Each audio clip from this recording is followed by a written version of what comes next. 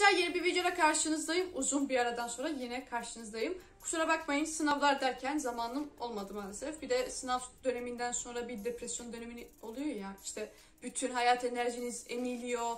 Ne yapacağınızı bilmiyorsunuz. İşte o dönemi bitirmiş bulunmaktayım. Şimdi artık yeniden hayatıma devam edebilirim. Bugün arkadaşlar size zaman kazandırabilecek yollar hakkında konuşacağım. İşte bunu yıl boyunca yapabilirsiniz. Hem derslerinizi ezberlemenize yardımcı olacak hem de e, ödevlerinizi kolaylaştıracak, hızlı yapmanızı kolaylaştıracak. Bu tür yollar hakkında konuşacağım. Hadi başlayalım.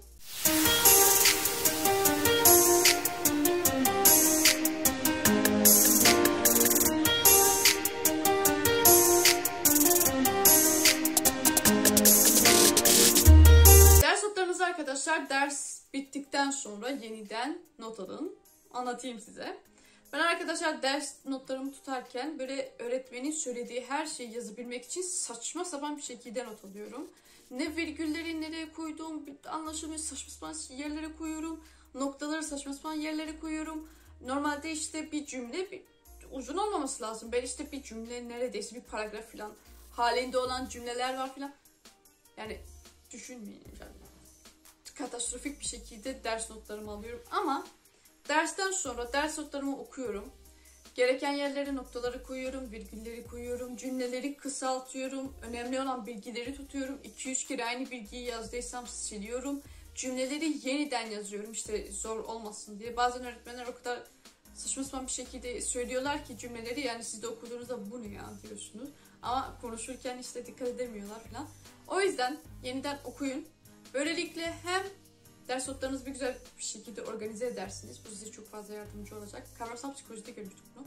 İki, hem kısaltırsınız işte gereksiz bilgileri çıkararak, e, önemli bilgileri ekleyerek. Genellikle çok fazla gereksiz bilgi yazdığımız için kısalacaktır ders notlarınız. Ve işte onları yeniden okuduğunuz için canlı kalacaktır beyninizde. Yani bir okuyorsunuz, diyorsunuz ha bu buymuş falan. Bir de gelecek derste öğretmeninize sorma ihtimaliniz de var falan. O yüzden bu davranış çok yardımcı olacaktır. Size arkadaşlar söyleyeyim. Eğer dersiniz 2 saat sürüyorsa maksimum 2 saat alıyordur o. Benim için öyle yani. 2 saatlik amfideki bir tane dersi ben 2 saatte yeniden notlarımı okuyup bitiriyorum ve oluyor bitiyor. Böylelikle daha sonra sınav dönemi yaklaştığında ve ezberlemeye başlamaya başladığımda e, onları işte yeniden organize etmeme gerek kalmayacak. Yeniden o cümleleri işte değiştir falan. Her şey net bir şekilde öğrenebileceğim öğrenebileceksiniz. Bunu arkadaşlar çok az öğrenci yapıyor. Açıkçası ben de bu semestre yapmaya başladım. Özet çıkarmak. Okuduğunuz kitabın, okuduğunuz makalelerin, izlediğiniz filmin, izlediğiniz belgeselin yani okurla alakalı ve gelecekteki ödevlerinizde, raporlarınızda ihtiyacınız olabilecek ne olursa olsun onun özetini çıkarın. Ben eskiden, e, eskiden dediğim geçen yıl derslerimin özetini çıkarıyordum arkadaşlar. Bu semestr yapmadım ve gerçekten çok pişmanım. Onun yüzünden notlarım düşük gelecek.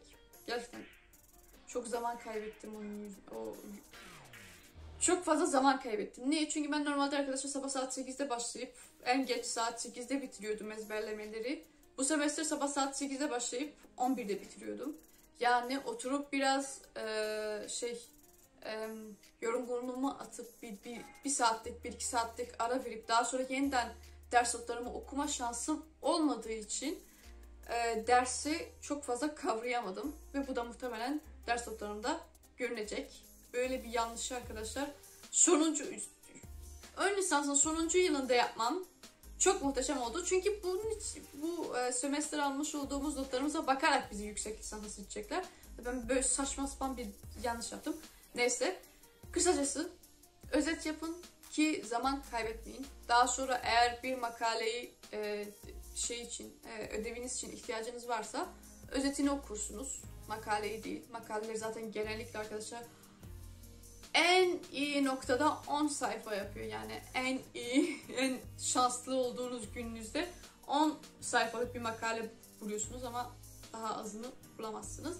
O yüzden özet yapın. Her dersiniz için arkadaşlar farklı renkli kalem ya da farklı fosforlu kalem kullanabilirsiniz.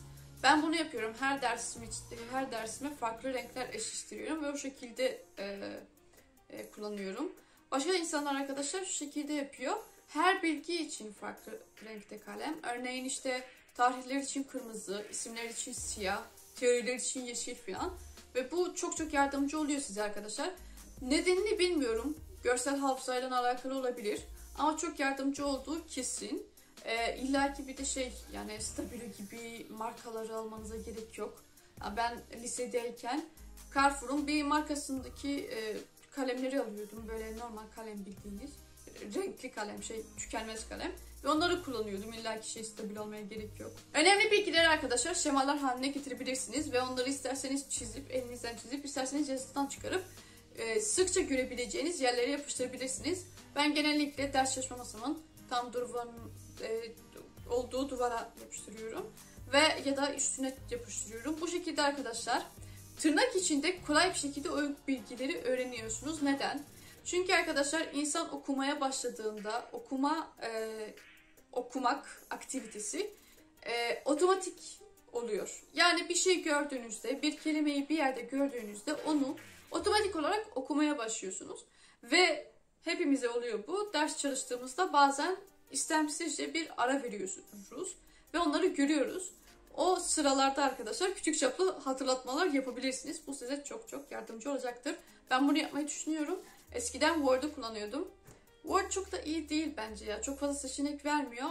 Canva'yı kullanmaya başlayacağım. Yani birkaç tane dersim için yapmıştım. İyi oluyor ama Canva'yı kullanmaya başlayacağım. Çünkü çok daha iyi. İsterseniz Canva'yı kullanabilirsiniz. Orada Mind Map seçeneğini seçip yapabilirsiniz. 2-3 haftada bir ya da yapabiliyorsanız her hafta sonu arkadaşlar ders notlarınızı yeniden okuyun. Böylelikle bilgiler beyninizde canı kıracaktır.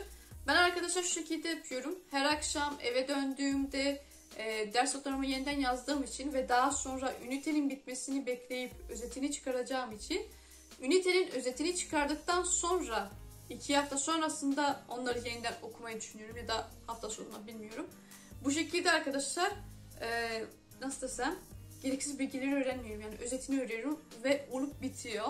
Bu size çok çok yardımcı olacaktır dediğim gibi. Böylelikle beyninizde bilgiler canlı kalacaktır. Ve yine anlamadığınız şeyleri öğretmeninize sorma e, şey zaman sormak için zamanınız olacaktır. Bu şekilde umarım videoyu beğenmişsinizdir. Kanalıma göz atmayı, yaptığım içerikleri beğeniyorsanız abone olmayı, bildirim açmayı, like atmayı, yorum unutmayın. Eğer istek videolarınız varsa aşağıya da yazmayı unutmayın. Görüşmek üzere. Gördüğünüzde onu okuyorsunuz. O otomatik bir şey. Ya niye mesaj oluyorsunuz?